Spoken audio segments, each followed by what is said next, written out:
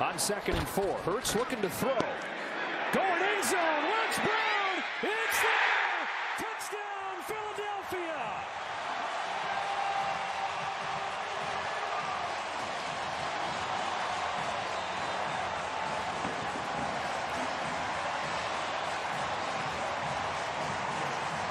Flag in the end zone. After a touchdown to A.J. Brown with a minute 43. Well, you, you don't expect double moves at that point in the game. I mean, you're trying to get in to get a game-winning field goal opportunity. touchdown. After the play was over, taunting offense number 11. Washington is elected to enforce that 15-yard penalty on the kickoff. This is number 11's first unsportsmanlike conduct penalty. for That is a potential big deal, that disqualification. taunting penalty. With a minute 43 left, it'll be enforced on the kickoff, as Ronald Torbert let us know.